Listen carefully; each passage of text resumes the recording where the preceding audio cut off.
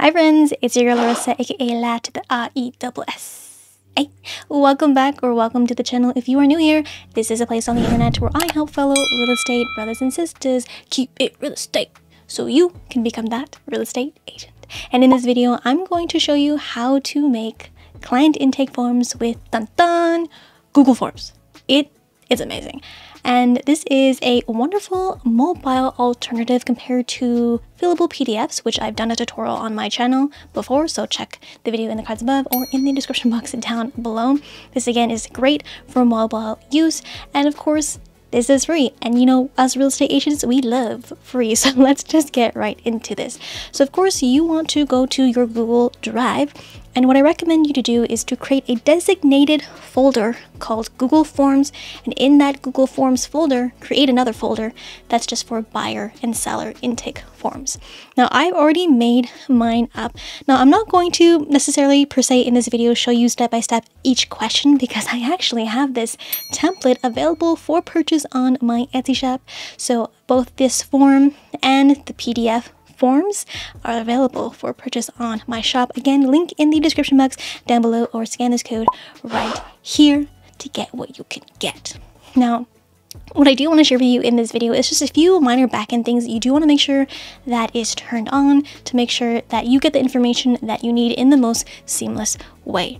So first things first, you can just right click and just hit Google Form here in blank form.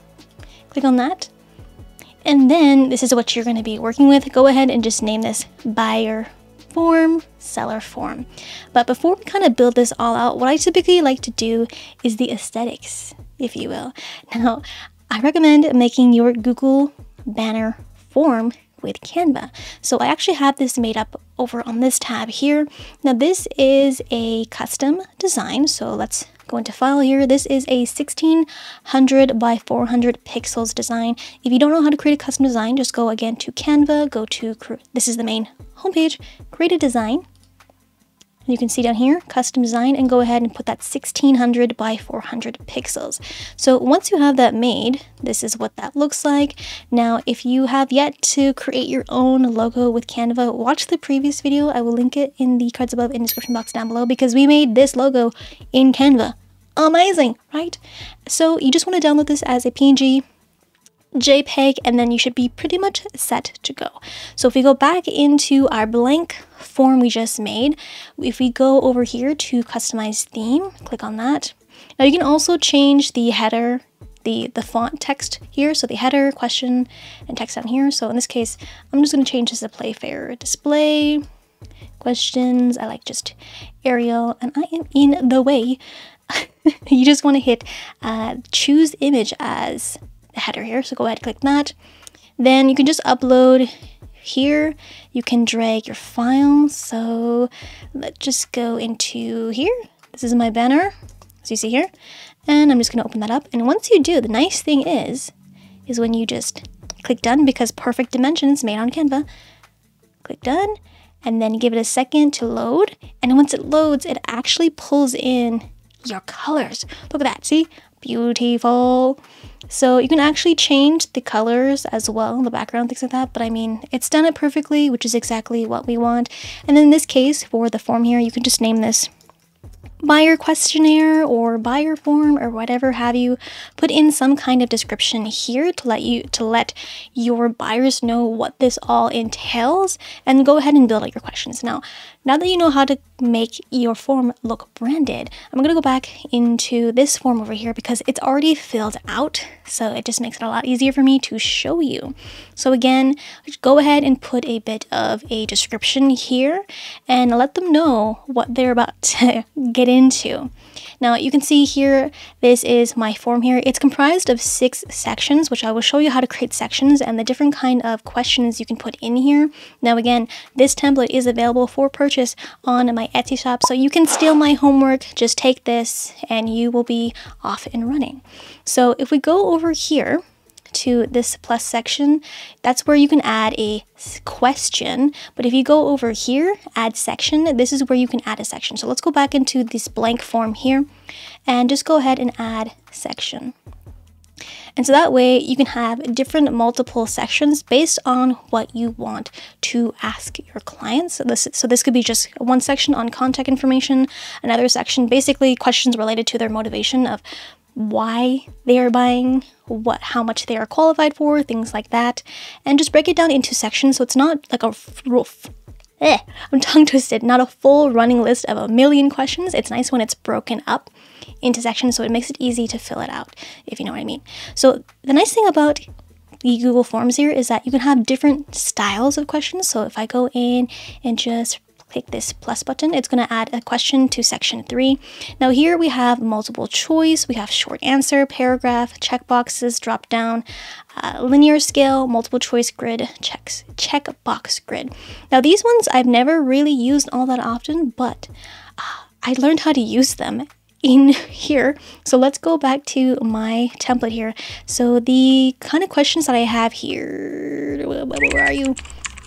Are questions like this like this. So this is the fifth section. This is property requirements per se. And so this here, if I click on this, this is a multiple choice grid. So basically what you do is you have your rows, you create your rows of the specific item, and then the column is, you know, one, two, three, four, five, things like that.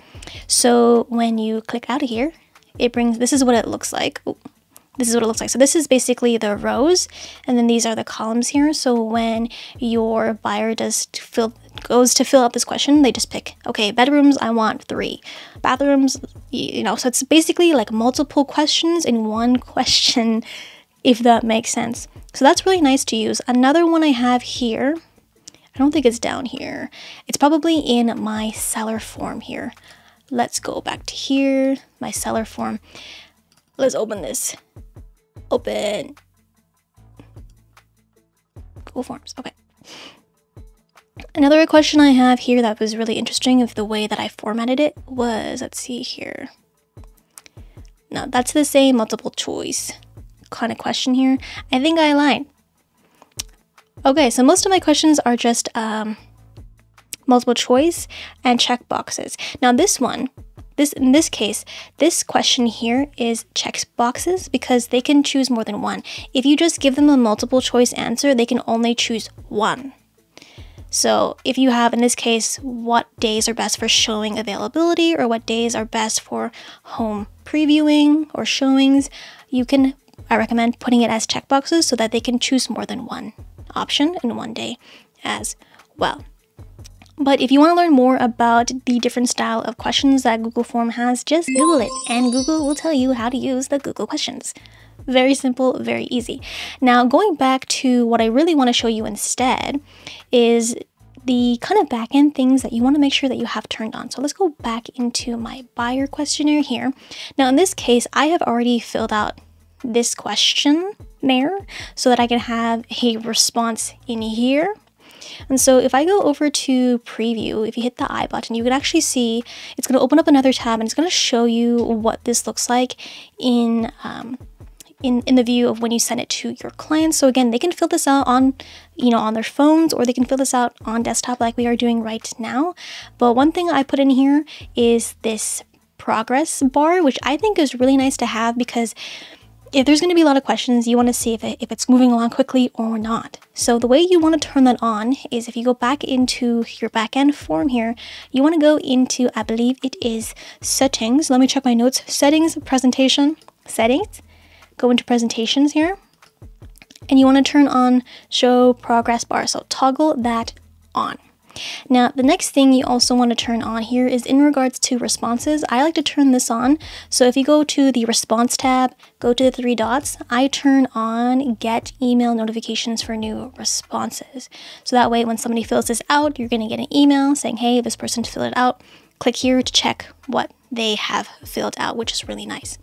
Now, the next thing that I want you to turn on as well is if we go over to settings, settings and go into responses here, I turn do not collect. So collect email addresses, I say do not collect because in this case, when you have this turned off, anybody can fill this form out. So this means they don't necessarily need, need to have a Google account to fill out a Google form. So that's why I turn that off.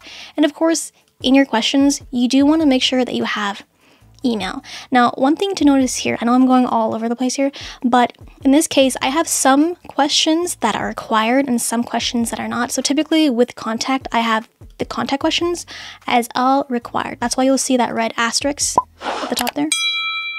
I'm in the in the view, but you can see how that asterisk is there. So that means they cannot continue on to the next next question or the next section if they don't fill out the required section. So I keep those on and the rest, some of the questions may be relevant relevant to them. It may be applicable to them. It may not be applicable to them. But in that case, uh, yeah, I just kind of keep just the contact questions as required. Now that's pretty much it.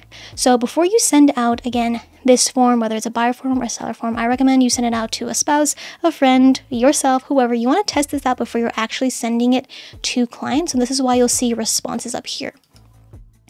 Now you can see here that I already filled out a response here.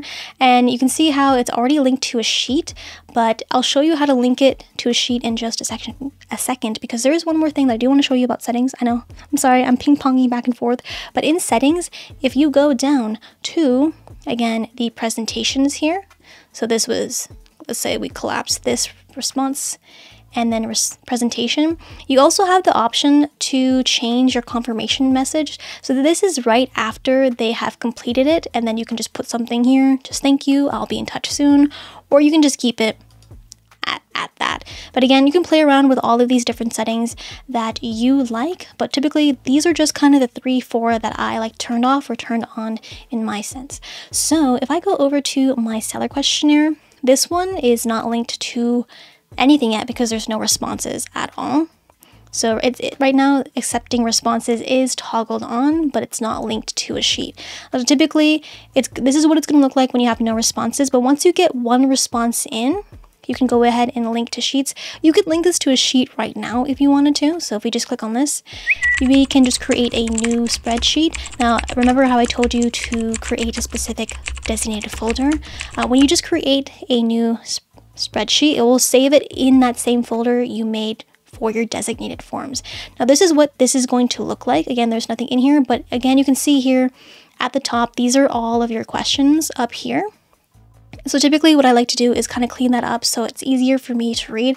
Now I've already done that for my previous buyer questionnaire. So if I refresh this here, the copy of the seller questionnaire is what we just linked to this here.